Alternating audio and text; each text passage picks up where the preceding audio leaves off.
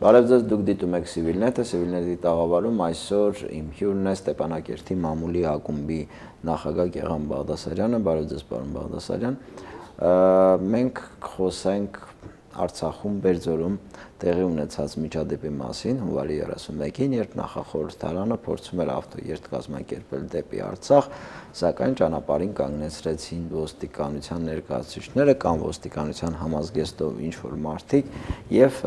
տեղի ունեցավ բռնության կիրառում ավտոերթի մասնակիցների նկատմամբ։ Իրավական մասին մենք չենք անդրադառնա խնդրի, խոսենք ավելի շատ քաղաքական եւ արժեհամակարգային տեսակետից ձեր կարծիքով նման կոշտ միջոցներով հակաօրինական հանցավոր կերպով նաև որոշ գնահատականներով ավտոերթի կասեցումը ինչ քաղաքական մեսիջ է պարունակում Հայաստանի Հանրությանը կամ Արցախի Հանրությանը։ Կա այդպիսի մեսիջ։ Ես չեմ կարծում, թե դիմավորողները ճակերտավոր ինչ որ հատուկ գաղափարական նախապատրաստություն ունեին եւ որոշակի քարոշչական գաղափարական հարցեր էին լուծում, մեսիջներ էին ուղարկում։ Մենք հաճախ իշխանությունների, իշխանության առանձին օղակների վարկագծում լուրջ դրթապաճառներ ենք փնտրում, իրականում շատ հաճախ ամեն ինչ շատ բարձունակ ու գետնաքարշ է լինում։ Փաստորեն ովքեր էին գալիս Արցախ, գալիս էին Հայաստանի իշխանությունների հակառակորդները, ընդդիմախոս, ընդդիմախոսները։ Եվ բնականաբար Ղարաբաղի իշխանությունների իշխանությունները ուզում էին ապացուցել իրենց ներկայացությունը Հայաստանի իշխանություններին մեկ անգամ եւս կամ գուցե հավելորդս փորձելով հաջողանալ նրանց, հավանաբար վստահ լինելով, որ այն ինչ իրենք են ծրագրել, դուր կգա պաշտոնական Երևանին։ Թե ինչ մեսիջեր սա դարձյալ կրկնեմ, որ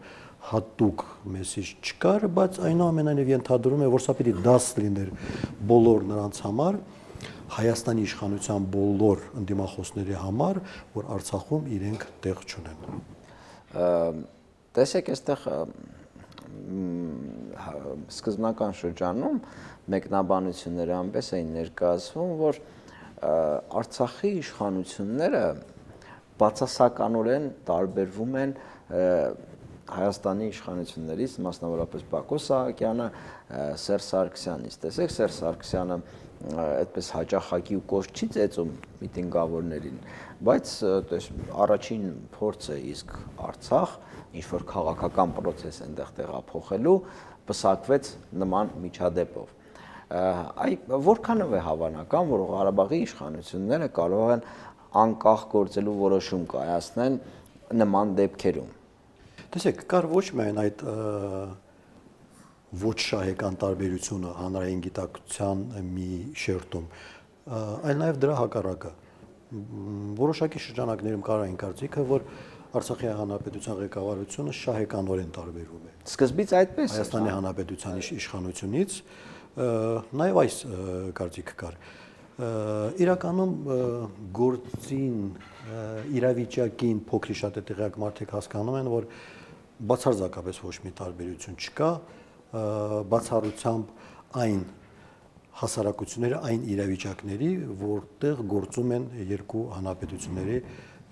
ղեկավարությունները։ Այնինչ կարող է Բակո Սահակյանը թույլ տալ իրեն Արցախում, Սերժ Սարգսյանը պարզապես չի կարող իրեն թույլ տալ Հայաստանում։ Չեմ ասում չեր ցանկանա,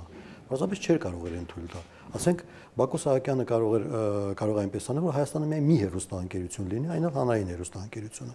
Սերժ Սարգսյանը բնականաբար չի կարող դա իրեն թույլ տալ, թեկուզ միգուցե Բակո Սահակյանից ավելի շատ կցանկանար, որ այդպես լիներ։ Բայց Հայաստանի պայմաններում դա հնարավոր չէ հասկանում եք ինչու հնարավոր չէ արցախի պայմաններում դա հնարավոր է ես ձեզ ասեմ ես չեմ տարանջատում երկու իշխանությունները ավելին ես գտնում եմ որ կա մեկ քաղաքական թիմ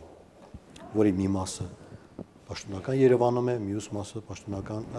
Ստեփանակերտում։ Այդ թիմը գործում է մի հոգեբանությամբ, մի մեթոդաբանությամբ եւ նույն գործիքակազմով։ Եվ եթե Արցախում մի քիչ նույնությամբ չեն կրկնում, ասենք այնինչ Հայաստանում է Հայաստանում է կրկնում, ապա դա խոսում են ընդհանրային մասին, որ դեռ նման առիթներ չեն եղել։ Պարոն Բադասարյան, տեսեք, այդ ավտոերթի այդ միջադեպից հետո շատերը սկսեցին մտածել, լավ, որ Սեր Սարգսյանի ընդդիմախոսներին են նման օրը գցում դեռ Արցախ չմտած, ինչ կանեն ասենք Բակո Սահակյանի ընդդիմախոսներին, եթե ասենք իշխանություն կինսելու կամ անհրաժեշտություն առաջանա։ Այ ձեր նշելով այնտեղ բավականին փակ համակարգ է եւ մի շղթայի մեջ է գործողությունները տեղի ունենում եւ ամեն հնարավորին արվում է որ ինֆորմացիա դուրս չկա։ Իրականում ինչպիսի քաղաքական համակարգ է Արցախում եւ արդյոք ընդդիմախոսները այնտեղ կարող են ինչ որ իրավիճակի վրա ազդել։ Արցախում գաղտնիք չէ փակ հասարակություն է։ Քաղաքագիտական եզրաբանությամբ ավտորիտար վարչակարգ է որտեղ բնականաբար ընդդիմությունը որպես լուրջ ուժ դժվար թե կարողանա կայանալ փոքրի շատ է լավ թե վատ միջև 2007 թվականը կար ընդդիմություն, որի ազդեցության լծակները բավականին սահմանափակ էին, բայց այնուամենայնիվ կար քաղաքական դաշտում ընդդիմություն իդեմս հայ հեղափոխական դաշնակցության եւ շարժում 88 կուսակցության։ Սակայն 2007 թվականի նախագահական ընտրությունների ժամանակ կատարվեց այդ զավեշտը, երբ քաղաքական դաշտի բոլոր կարևոր դերակատարները մտան մի տանիքի տակ ստեղծվեց միաբևեր հասարակություն, միաբևեր քաղաքական դաշտ։ Արտակուստ բազմազանություն կա, կան մի շարք կուսակցություններ, կան տարբեր քաղաքական ուժեր, բայց այդ ամենը մի տանիքի տակ է եւ մի մի բևերի մի բևերի տակ է, մի բևերում է։ Այսօր չկա կայացած կառուցակարգված ընդդիմություն։ Միայն Հայկ Խանոմյանի գլխավորած ազգային վերածնունդ կուսակցությունն է եւ կան մի քանի այլ մանր կուսակցություններ, որոնք փորձում են իրենց տեղը գտնել արևի տակ։ Այդ ընթացքում նաև այսպիսի այսպիսի խնդիր առաջ եկավ, դա հակաղարաբաղյան տրամադրությունների արտնասման փորձ, այդպես բնութագրենք։ Երբ չգիտեմ արեստականորեն թե բնական հունով հակված եմ մտածելու, որ ավելի շատ արեստական սկսեցին խոսել, որ տեսեք Ղարաբաղցիները կրկին տարանջատում են դնում Հայաստան-Ղարաբաղցի հասկացությունների միջև, այ այսպես են դիմավորում հայաստանցիներին եւ այլն եւ այլն։ Դուք ծանոթ կլինեք այդ կոչերին կամ հայտարարություններին։ Կարծես թե այդ հայտարարությունները ցիլ չտվեցին այստեղ հակաղարաբաղյան։ Միաժամանակ Ղարաբաղից բավականին այսպես adekvat մի քիչ առաջ խոսում ենք արձագանքներ եղավ։ Այ ինչ որ բան փոխվել է այս տրամադրությունները գեներացնելու կամ այդ գեներացնելու պոտենցիալի ավելացման կամ պակասեցման տեսանկյունից։ Հայաստանում հանրային քննարկումներն բավականին վտանգային վտանգավոր միտումներ կային այնուամենայնիվ։ Ինչ խոս գիտակից մասը հասկանում էր, որ երևի ճիշտ չէր լինի խոսել Ղարաբաղցի Հայաստանցի տարաբաժանման մասին, եւ վերջը պետք է նույնականացնել իշխանությունը պետության ժողովրդի հետ։ Այնուամենայնիվ եղան բացական միտումներ, ամենատարբեր քննարկումներ եւ այս պարագայում շատ կարեւոր էր Արցախից որպես Արցախից հնչեին համարժեք համարժեք գնահատականներ։ Այս այս անգամ բավականին մեծաթիվ մեծ հոմարտիկ արձագանքեցին համարժեք արձագանքեցին կատարվածին տվեցին ազնիվ ու սկզբունքային գնահատական հիշեցնեմ մի քանի օրինակ առաջին արձագանքեց ազգային վերածնունդ կուսակցությունը հստակ ու սկզբունքային գնահատական տալով հետո շարժում 88 կուսակցությունը, որը նաև ներողություն խնդրեց կատարվածի համար,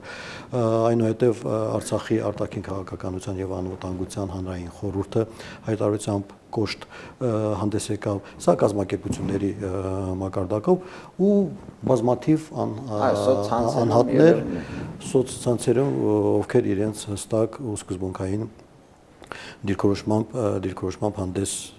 եկան։ Սա շատ կարևոր էր, որպեսզի չնույնականացվեր իշխանությունը ամբողջ պետության ու ամբողջ ժողովրդի հետ։ Սա երևի առաջին անգամն էր, չէ՞ նա այսպեսի ի տարբերություն մյուս իրավիճակների նվազ ողբերգական Արցախից հնչող ձայները կարելի էր հաշվել մեկ ձերքի մատների վրա այս անգամ ուրախալի է որ մարդիկ չեն վախենում բարձրաձայնել իրենց կարծիքները, որոնք տարբերում են իշխանությունների, իշխանությունների կարծիքից։ Ինչքան էլ փակ լինի հասարակությունը, իրավացի եք, առավել եւս որ հիմա փակ հասարակություն պահելը շատ ու շատ շատ ու շատ դժվար է եւ անհերանեկարային գործ է։ Տերևս վերջին հարցը շատերը քննադատեցին նախախորհրդարանին այն բանի համար, որ նա փորձում է ավտոերթով քաղաքական ինչ-ինչ գործընթացներ իրենց բնութագրմամբ դեստրուկտիվ տեղափոխել Արցախ, որը պատերազմական իրավիճակում է եւ նշում են կամ հասկացնում են, որ այդպիսի բան անել պատերազմի մեջ գտնվող Արցախում դա գրեթե պետական դավաճանություն է։ Ինչքանով է ճիշտ Հայաստանի քաղաքական գործընթացները կամ դրանց ոգին ինչ որ տեսակ տեղափոխել Արցախ, այնտեղ փորձել Արցախը մաս դարձնել հայաստանյան գործընթացներին։ Անվտանգության խնդրի հետ կապելը ըստիս Փարիսեցիությունը մեղմ ասած։ Եթե մենք դիտարկել ունենք իրավիճակը եւ բոլոր խնդիրները անվտանգության տեսանկյունից, ապա པարզ կլիներ, որ կան շատ ավելի լուրջ խնդիրներ։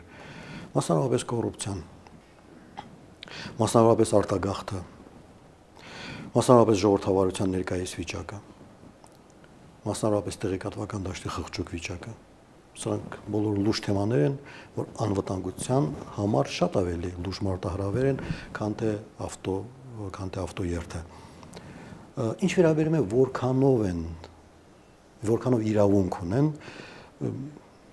չեմ կարծում թե ավտորիտե մասնակիցները որից ապօրինի գործողություն են արել։ Մենք կարող ենք համաձայնվել կամ չհամաձայնվել։ Անձամբ ես կամ անձամբ ինձ համար շատ բան անհասկանալի է հիմնադիր խորհրդարանի թե գործելավոճում, թե արժեքային համակարգում, բայց դա ինձ թույլ չի տալիս նման անհանդուրժողական վերաբերմունք ունենալ նրանց նրանց հանդեպ։ Ասեմ ձեզ առաջին երթին, որ սա ի վերջո քաղաքական մարտահրավեր էր Արցախի իշխանություններին, Արցախի քաղաքական համակարգին։ Եվ պատասխանն էլ պիտի քաղաքական լիներ։ Բայց տեսեք, այսօրվա այս միաբևեր քաղաքական դաշտի պայմաններում այս անմրցակից ու անմրցունակ քաղաքական դաշտի պայմաններում քաղաքական ոչ մի գործիք չգտնվեց հակազդելու այս այս քաղաքական մարտահրավերին։ Ես չեմ հասկանում թե վտանգավոր ինչ կար։ Միթե Արցախում չկար որևէ adekvat համարժեք քաղաքական ուժ, որ կարող էր բանավիճել ավտոերթի մասնակիցների հետ։ Ղարաբաղում արդեն մտավորականներ չկան, Ղարաբաղում արդեն ամեն հույսը միայն մահակն է, սա է ահավորը քաղաքական մարտահրավերին պիտի քաղաքական պատասխան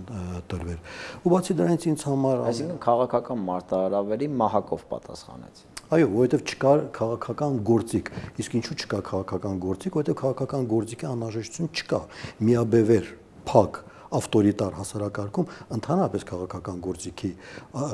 անհրաժեշտություն չկա։ Ամեն ինչ արվում է ոչ քաղաքական մեխանիզմներով, մեթոդաբանությամբ։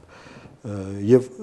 Արցախյան իշխանությունների գործիքակազմում փաստորեն չկային քաղաքական քաղաքական գործիքներ։ Սա է ամենաահավորը մի չճանաչված պետության պարագայում, որը ոչ միայն հավակնում է ժողովրդավարական պետություն կոչվելուն, այլ նաև հպարտանում է, երբեմն նաև գոռոզանում է, որ կան չճանաչված պետություններ, որոնք ժողովրդավարության մակարդակով չեն հասնի Արցախյան ժողովրդավարությունը։ Գոնե այս միֆը պահեին։ Մենք բոլորս հասկանում ենք, որ սա միֆ է եւ լռում ենք սրա մասին զուտ արտաքին դրդապատճառներով։ Գոնե կարող են այս միֆը պահել։ Շնորհակալություն պարոն Բաղդասարյան, այսպես հենց մեջից ներկայացնելու համար Արցախը իր բոլոր առավելություններով կամ թերություններով հուսանք որ այս ամեն ինչը դաս կլինի Արցախի եւ նաև Հայաստանի իշխանությունների համար եւ կփորձեն հենց նույն անվտանգության նկատառումներից ելնելով պահել իրենց adekvat յուրաքանչյուր իրավիճակում, ինչքան էլ դա լինի քրիտիկական, ոչ ոչ քրիտիկական կամ քաղաքական։ Հիշեցնեմ, որ այսօր ես հյուրընկալել էի Ստեփանակերտի մամուլի ակումբի նախագահ Գեգամ Բաղդասարյանին։ Կհանդիպենք։